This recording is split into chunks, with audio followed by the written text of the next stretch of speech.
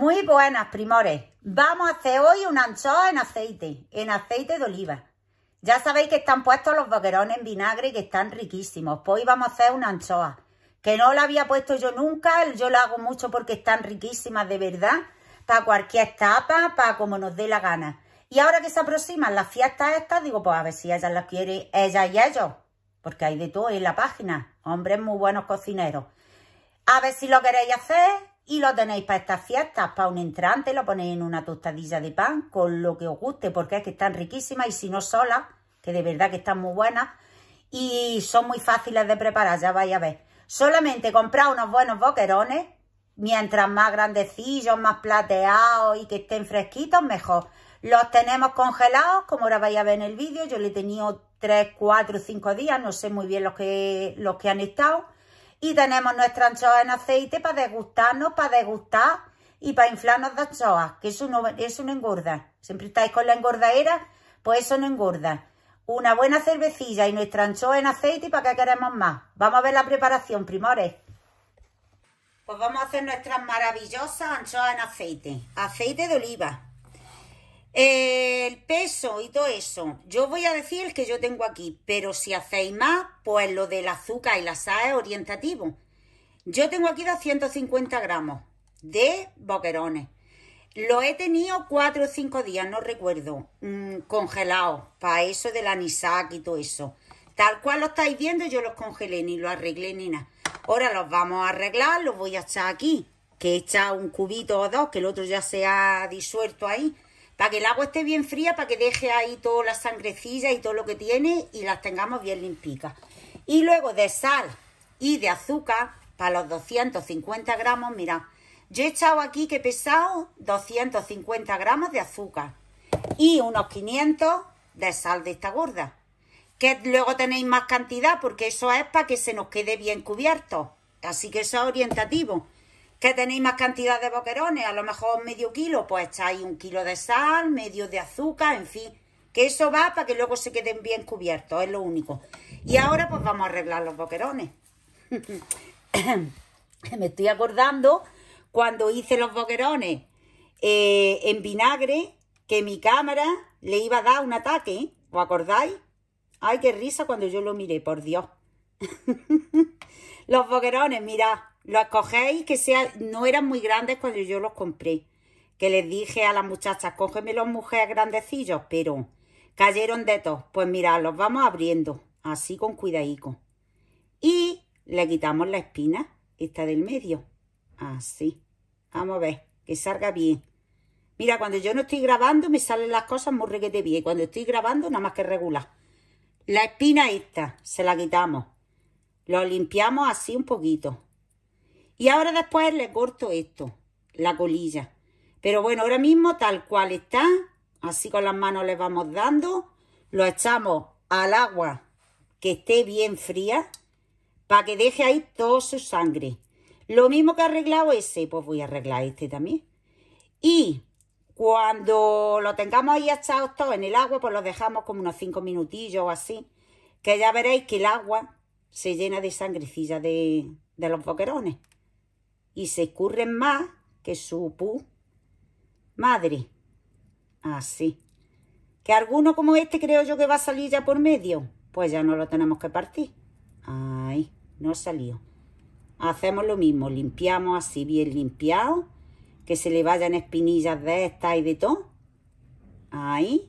Y lo echamos al agua con, con el hielo. Voy a arreglarlos todos y ahora seguimos.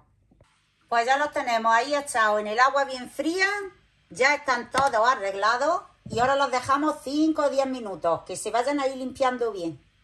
Pues mirad cómo ha quedado el agua. Unos 10 minutillos lleva.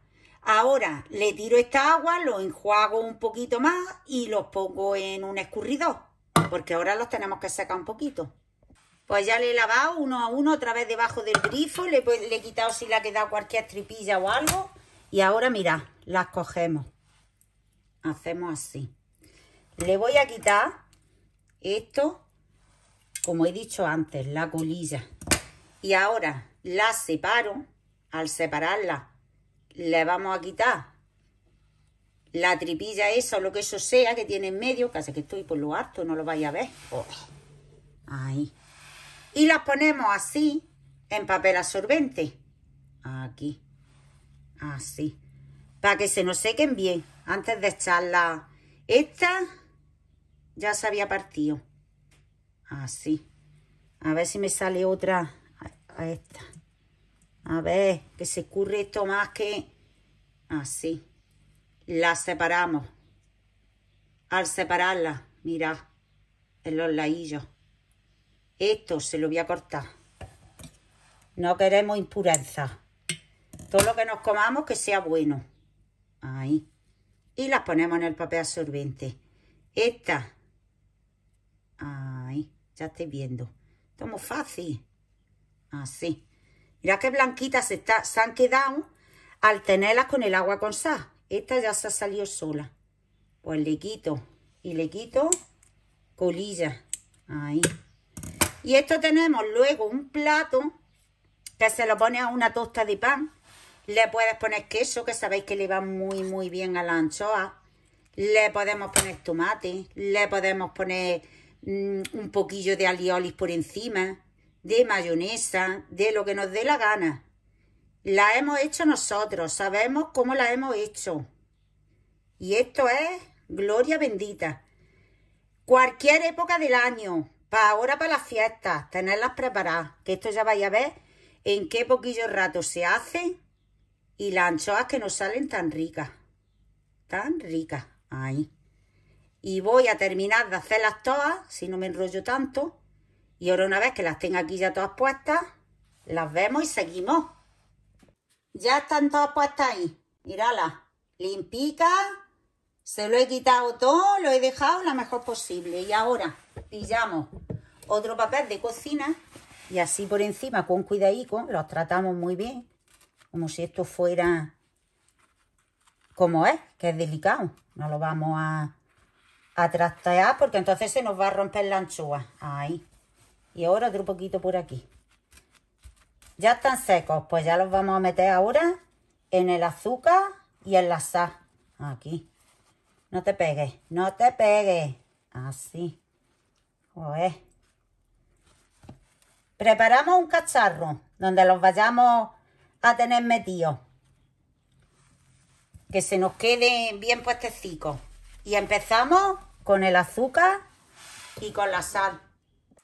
Ahí tengo la sal, como he dicho, yo para la cantidad esta, como medio kilo así creo que hay, y unos 250 de azúcar. La echamos y lo revolvemos bien. Que se quede unidas las dos cosas. Yo creo que ya está bien unido. Y ahora mira, donde los vayamos a hacer. Yo lo voy a meter en eso y no voy a tener que echar, creo, nada más que una, una capa.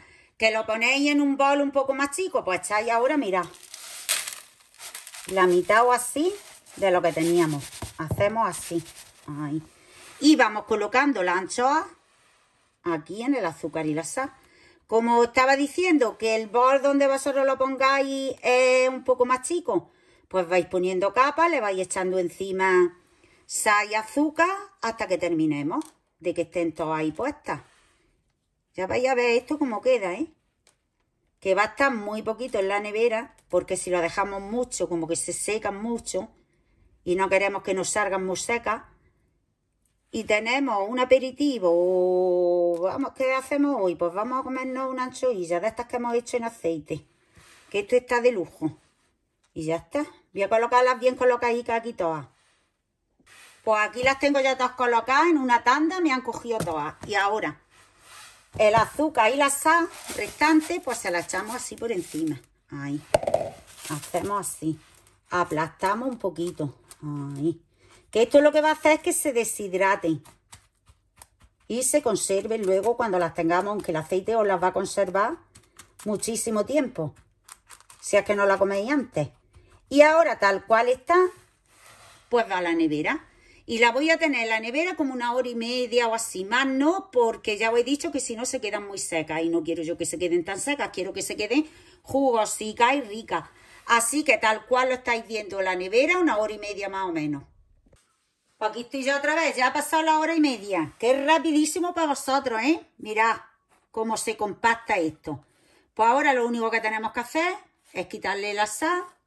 Así. Con cuidado de no pillar la anchoillas, que no... Mira ya qué color está saliendo ahí la anchoa, ¿eh? no voy a decir de dónde parecen porque vaya que luego me digan algo.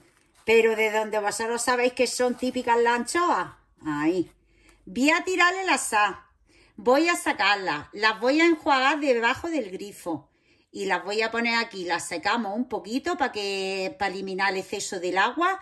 Y lavarlas para quitarle lo del azúcar y lo de la sal y las vamos a poner eh, en el cacharro ya con nuestro aceite de oliva virgen extra. La estoy sacando y quiero que la veáis, que quedan tiesas, tiesas, que por eso he dicho que no me gusta dejarlas más tiempo para que no se nos sequen mucho. Y os aseguro que así están, divinas de la muerte. Mirad qué tiesura tienen, que no quiero romperlas. Vayamos que ahora a la hora de, de verlas se rompan. Mirad. Pues las voy a sacar todas, las voy a secar. Pues lista. Las secamos otro poquito. Así. Para quitarle el exceso de agua. Y las preparamos para echarlas en nuestro aceite. Echamos donde las vayamos a guardar. Un poquito de aceite de oliva virgen extra. Las vamos colocando así. Y ahora le volvemos a echar más que las cubra bien cubiertas. Le echamos otro poquito por encima, así. Y esto ya las podemos dejar, si es que no nos las comemos, porque yo sé que los vais a comer.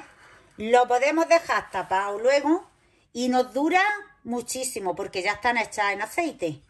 Y aquí las tenéis. Mirad qué pintaza que tienen las anchoas en aceite. El aceite este luego lo podéis reciclar para cualquier pescado, a la plancha, frito. Va a dejar su saborcillo ahí, que ya sabéis el aceitillo de la anchoa, lo rico que está. Y ya está, que voy a decir más. Si esto es gloria bendita. Cogemos una tosta de pan, a mí este con ajo es que me encanta. Le ponemos encima una rodajita de tomate. Le ponemos encima un trocillo de queso, que ya sabéis lo bien que le va a la anchoa. Cogemos, vamos a ver, que no se me derrame que caiga el aceitillo ahí, una, y le vamos a poner otra. Aquí, así cruzadilla. Y tenemos una tapa espectacular, hecha por nosotros, que es lo mejor del mundo. Ahí, mirad. ¿Eh? Y de verdad que salen muy ricas, que ya habéis visto que en qué poco tiempo las tenemos hechas y que la hagáis, que la hagáis si la queréis para ahora para estos días, que la vais a gastar más todavía y si no para cualquier época del año, que de verdad que está muy rica. Y aquí tenéis mi anchoa en aceite de oliva virgen extra. Que la hagáis, que la disfrutéis y hasta otro vídeo, primores.